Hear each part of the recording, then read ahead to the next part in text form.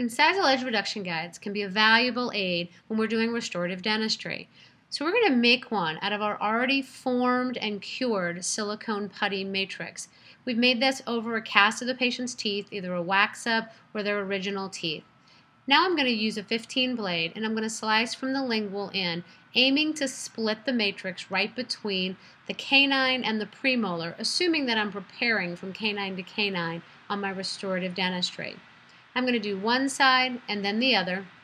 It can sometimes be helpful as you start to work through the material, especially if it's thicker than the dimension of the cutting surface of the blade, to sort of saw up and down or to use your fingers to spread the silicone so you can more effectively get the blade in. You want to cut all the way just to the facial side of the incisal edge of the teeth that you're going to be isolating in the reduction guide. Now I'm going to cut from the inside just on the facial side of the incisal edge all the way around from canine to canine on this guide.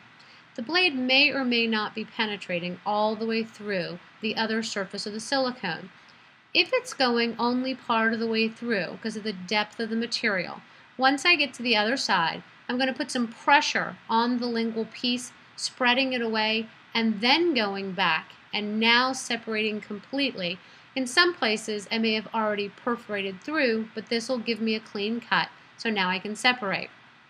Now I can return the guide to the model so I can see that I accurately picked up the labial surface. So even when I do depth cuts, I like to have an incisal reduction guide to show me I have adequate room.